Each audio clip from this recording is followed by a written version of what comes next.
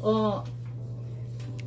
Abi, unsay imong birthday? November 8. Oh, ang November 8, kuha na siya. Maayo ka sa trabaho, ang negosyo segunda ra nimo.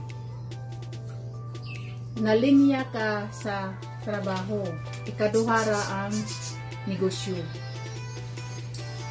Unya, ikaw ra ba karon bisag bata pa ka, taas na kag mga plano sa imong kinabuhi nga. Mura ba kinahanglan maning kamot sa kong eskwela, aron ko makahuman, kay na ako'y gustong pangpaliton, gusto ko nga malipay akong mama o papa, anak.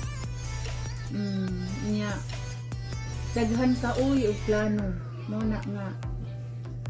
Sana, Lord, mga Mary Senior, matuman ang imong mga plano sa kinabuhi kay daghan kag plano, dili na lang nako i-enumerate kay nakita nako nga daghan jud kag plano sa kinabuhi.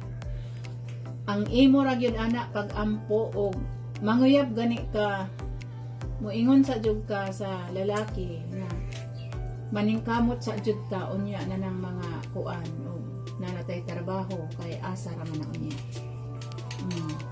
Maunay hubad ha sa imuhang November 8 mahigugma.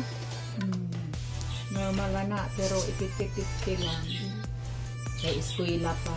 Taas paglanak sa kanhin ug daghang salamat AB